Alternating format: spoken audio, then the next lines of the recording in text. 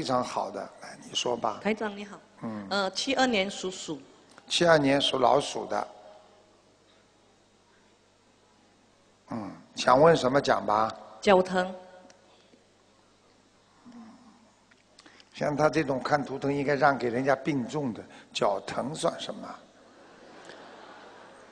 首先，你这个老鼠是黑老鼠，听得懂吗？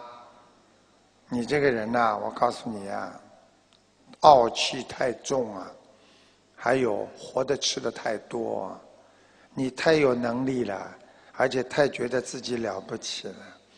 台长讲话，你不要觉得不舒服，但是真的是良药，没有人肯讲你的，听得懂吗？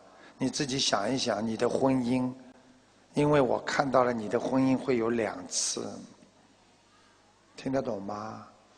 鼓掌。所以，希望你好好的念礼佛大忏悔文。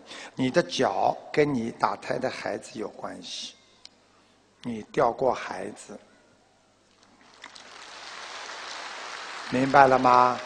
其实你是个好人，你肯为人两肋插刀的人，但是现在这种人很少。